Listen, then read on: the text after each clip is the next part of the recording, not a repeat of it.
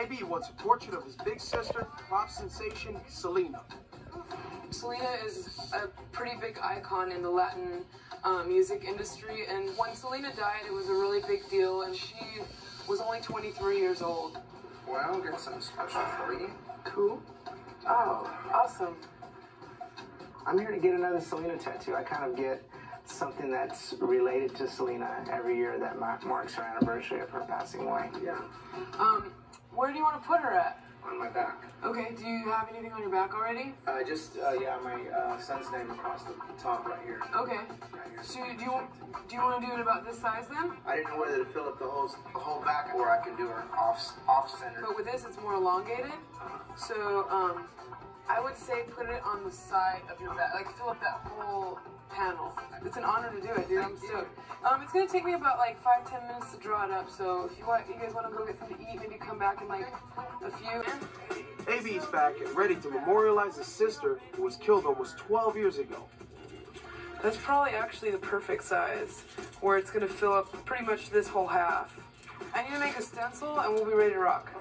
You know, normally people come in and they want to get a portrait. It's usually like the like a bust, you know, from like the neck up. Like in AB's case, we're gonna do um, almost a full body of Selena. So it's gonna be pretty big. It's gonna be on his back, and um, I'm pretty excited about it.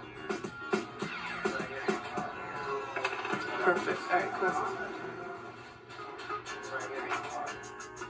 The day that Selena passed away, um, I was at the recording studio waiting for her.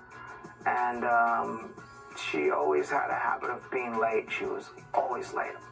And that day, it wasn't any, it was no different than any other day. She was going to just sing some, actually, some demos for me of some songs I'd written. So I was really fortunate to write all her songs. I wrote all her hits for her. Oh, nice. And that day, she never showed up. And we got a phone call at the offices, and one of the radio station people called and said, Hey, Selena was in an accident. Little did I know, you know what I'm saying, what was going to happen that day was going to change my life and a lot of people's lives. I come from a really musical family. Like Yeah. in- in our family, we all play several instruments. Yeah. So it's like I can appreciate good music. I know what good music is, and I love it. But Right. to sit down and write something and be that inspired by something, like Mhm. I don't have that. Yeah. So that's why there's people like you and there's people like me. I'll just buy the record. Hey, but you, you rock tattoos though, man. Yeah. Come on. I'd love to be a tattoo artist.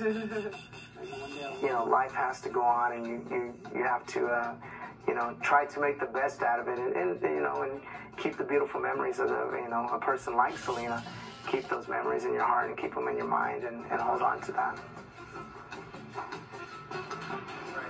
Get out. Oh my God, that came out beautiful, man. That is crazy. You love it? I love it. On an emotional level, today was was very important to me. Selena was an orgullo mexicano, as we say it, a, a, a pride of American community and of the Mexicans.